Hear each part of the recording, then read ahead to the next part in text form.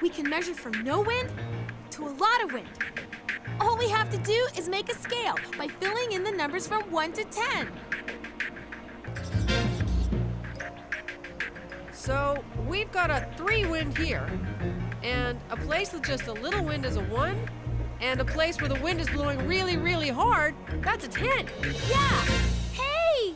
We made a wind gauge!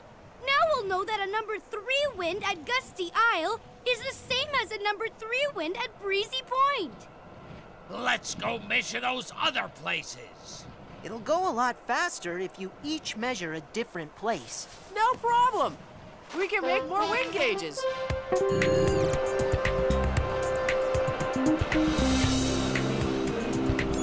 Blustery Point, wind strength 4. Breezy Flats, wind strength two. Gusty